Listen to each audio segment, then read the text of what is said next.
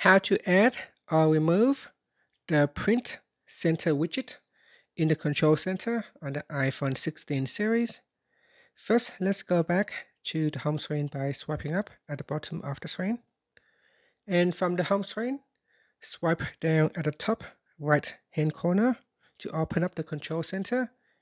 Next in here, tap on the add button.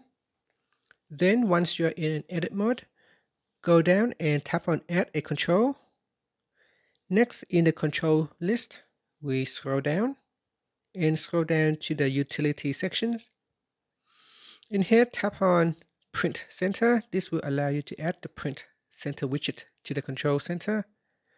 Now swipe up to return back to your control center, then swipe up again to return back to the home screen.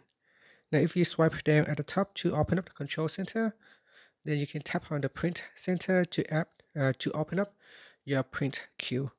Now at the moment there is no documents in the queue, so it's saying no documents waiting. And that's it. To remove it, just simply go back to your control center, then tap on the add button, then tap on the remove button at the top corner of the widget to remove the widget from the control center. And that's it. Thank you for watching this video. Please like and subscribe to my channel for more videos.